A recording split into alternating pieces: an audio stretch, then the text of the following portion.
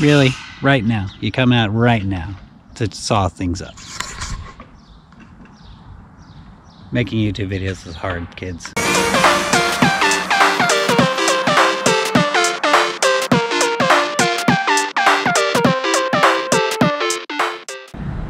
Greetings, fellow mountain bike enthusiasts, and welcome back. And welcome to episode two of Nerds on Dirt Nerding Out. Today's episode A Tale of Two Remedies and why I have two remedies.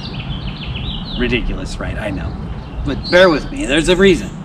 So, as many of you know, uh, I was racing Enduro last season. I did a full season of Enduro. Um, click up here to uh, watch some of those races.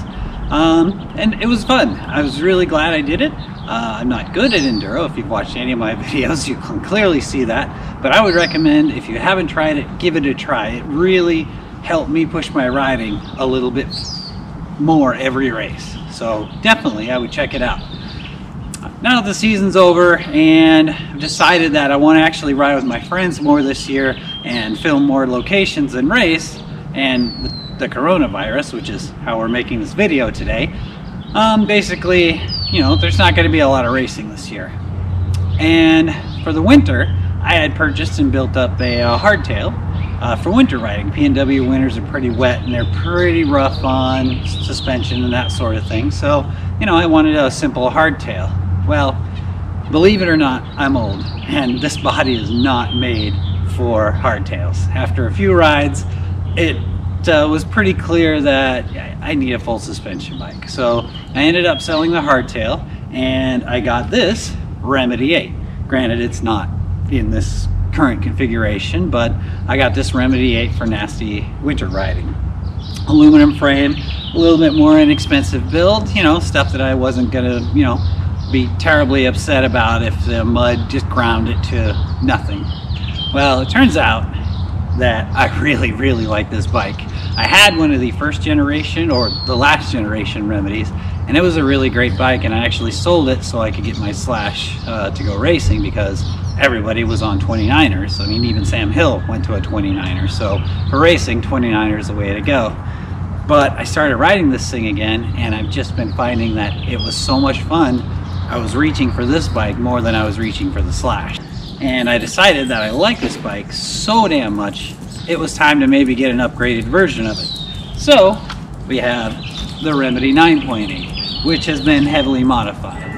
So, you know, there's a reason. I have a plan for both bikes. Originally, the 8 was going to be more of a goo bike, uh, nasty days, but after doing a little bit of research, I think what the uh, intention of this is going to be is we're going to add more travel to the rear end, more travel to the front end, and build this sucker up to be a park bike where the Remedy 9.8 is going to stay light, it's going to stay carbony, going to be the pedal all day and still have a party on the bike bike, which we've already done. I mean, I've already done a 23 mile, uh, I think we did over 3K of climbing on it.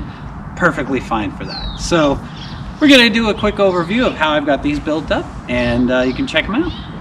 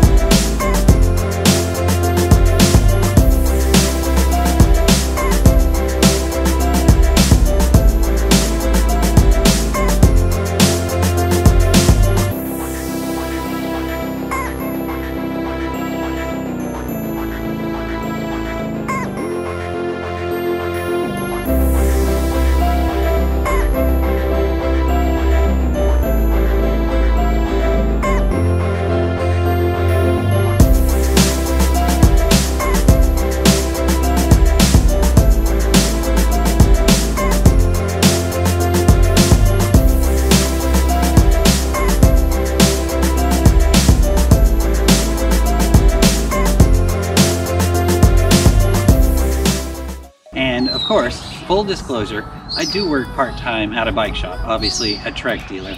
It's the only way I could afford to do this. I also work IT as a regular job, but you know, I'm not some super baller. It's how I can afford all these bikes. It's because, you know, I work at a Trek shop.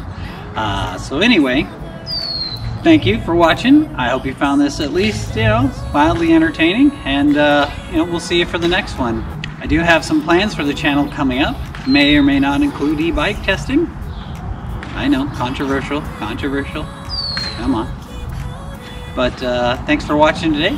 And uh, I hope you make it through this quarantine well. It's, it's going to be hard on all of us, but we'll... Of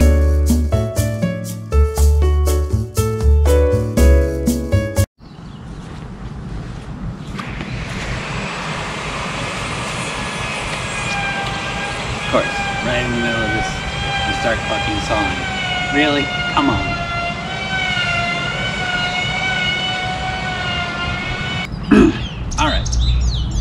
full disclosure, I do work part-time at a bike shop, obviously a trek shop, and I work full-time doing IT work. So this is how I can do this, in case you're wondering. I'm not some super baller. If it wasn't for the discounts that they give us, there's no way. Fucking hell. Close